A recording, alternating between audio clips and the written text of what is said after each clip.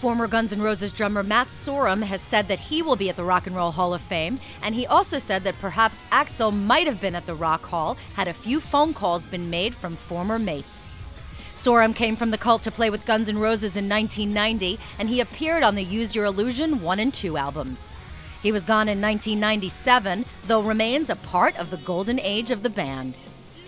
Sorum said that he urged some of Axl's former mates and the ones with the biggest rifts with Rose to call him in hopes to get him to come accept the award with his former bandmates.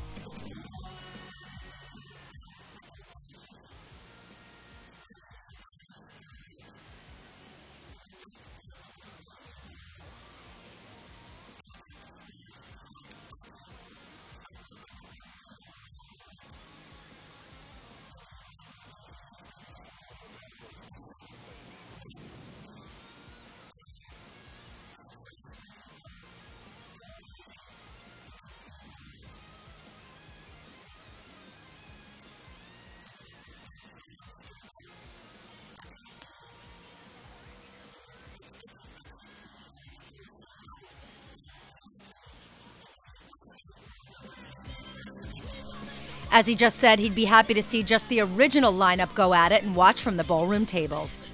He was also asked about performing, and he said he'd just as well hand the sticks to Steven Adler.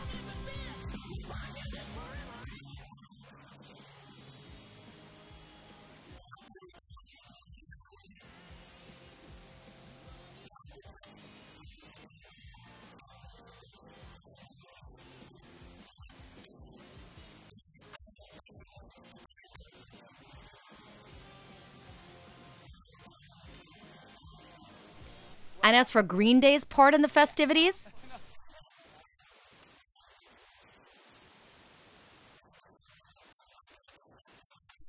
Guns N' Roses are being inducted with the Red Hot Chili Peppers, Donovan, the Beastie Boys, and the Faces, Small Faces, among others.